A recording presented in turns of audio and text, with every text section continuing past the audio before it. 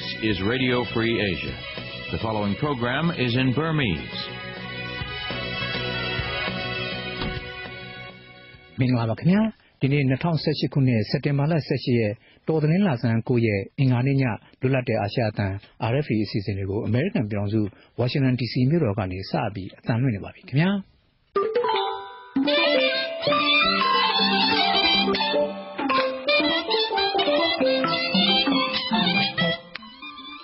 ကျွန်တော်တင်အောင်ခိုင်ပါကျွန်တော်ကနေရင်ကျော်ပါကျွန်တော် RFA ရဲ့ည9နာရီကနေ10နာရီထိအစီအစဉ်တွေကိုတော့လိုင်းဒိုမီတာ22 kHz 13633ည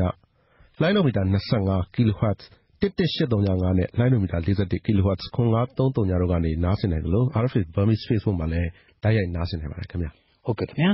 ကျွန်တော်တို့ပထမဆုံးသတင်းတွေတင်ပြပေးပါမယ်ကြားရမယ့်သတင်းတွေထဲမှာတော့တမတော်ကိုနိုင်ငံရေးဩဇာရှိတဲ့နေရာကနေပြီးတော့ဖယ်ရှားသင့်တယ်လို့ကုလသမဂ္ဂကပြောဆိုလိုက်တဲ့သတင်းနဲ့အတူထောင်ဒဏ်9နှစ်ချခံထားရတဲ့ writer သတင်းတောင်ဦးရဲ့အယူခံတင်မယ်ဆိုတဲ့သတင်းနဲ့တခြားစိတ်ဝင်စားစရာသတင်းတွေကိုထုတ်လွှင့်ပေးဖို့ရှိပါတယ်ခင်ဗျာဟုတ်ကဲ့ပါသတင်းတွေပြီးမှတော့ကျွန်တော်တို့ဆက်သွယ်မြင်းမြန်းချက်တွေသတင်းဆောင်ပါတွေထုတ်လွှင့်ပါပါအဲ့ဒီထဲမှာနားဆင်ရမှာတစ်ခုကတော့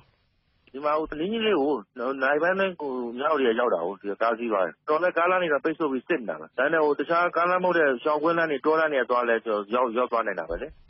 ဒါကတော့ဖန်အကျဉ်းထောင်ကနေ ထွက်ပြေးသွားတဲ့ ရာဇဝတ်သားတွေကို ပိုက်စိတ်တိုက်ရှာနေတဲ့အကြောင်း နောက်ဆက်တွဲ တင်ပြတဲ့အခါမှာတော်ရရှင်တွေ နားဆင်ရမှာပါ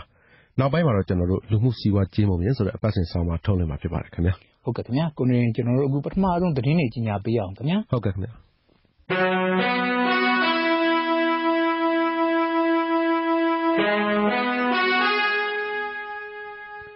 သတင်းတွေကိုမက်ခက်မာနဲ့တူ ကိုနေကျော်က တင်ပြပေးပါခင်ဗျာ ဟုတ်ကဲ့ပါရှင် မြန်မာနိုင်ငံမှာ လူမျိုးတုံးတုတ်တင်ရှင်းလင်းမှုတွေအတွက် တာဝန်ရှိတဲ့ စစ်တပ်ထိပ်တန်းခေါင်းဆောင်တွေကိုရေးယူပြီးတက်မတော်ကို နိုင်ငံရေးဩဇာရှိတဲ့နေရာကနေ ဖယ်ရှားဖို့ ကုလသမဂ္ဂရဲ့ နိုင်ငံတကာလွတ်လပ်တဲ့ စုံစမ်းရေးကော်မရှင်က ဒီနေ့ ပြောကြားလိုက်ပါတယ် ဆွစ်ဇာလန်နိုင်ငံ ဂျနီဖာမြို့မှာ ဒီနေ့ကျင်းပတဲ့36ကြိမ်မြောက် ကုလသမဂ္ဂ လူ့အခွင့်အရေးကော်မရှင် ညီလာခံမှာလည်း နိုင်ငံတကာလွတ်လပ်တဲ့ စုံစမ်းရေးကော်မရှင်အဖွဲ့ဝင်ဩစတြေးလျနိုင်ငံသားဒေါ်မနစ်စစ်ဒိုတီက Democracy cannot be built on a foundation of genocide, crimes against လူမျိုးတုံးတုတ်တင်ရှင်းလင်းမှုလူသားဖြစ်တည်မှုကိုစန့်ကျင်တဲ့ရာဇဝတ်မှုစစ်ရာဇဝတ်မှုတွေကိုအခြေခံပြီးဒီမိုကရေစီကိုမတည်ဆောက်နိုင်ပါဘူး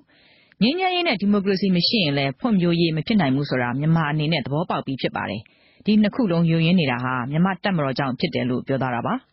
အာဏာရ နိုင်ငံရေးပါတီဖြစ်တဲ့ အမျိုးသားဒီမိုကရေစီအဖွဲ့ချုပ်ရဲ့ ပြောခွင့်ရပုဂ္ဂိုလ် ဒေါက်တာမျိုးညွန့်ကို ဆက်သွယ်တဲ့အခါမှာလည်း တရုတ်ပြည်ခရီးစဉ်သွားနေတဲ့အတွက် ပါတီရဲ့ထိပ်တန်းခေါင်းဆောင်တူဖြစ်တဲ့ ဦးညံဝင်းကို ဆက်သွယ်မေးမြန်းတဲ့အခါမှာတော့ ကျွန်တော်ကတော့တွေ့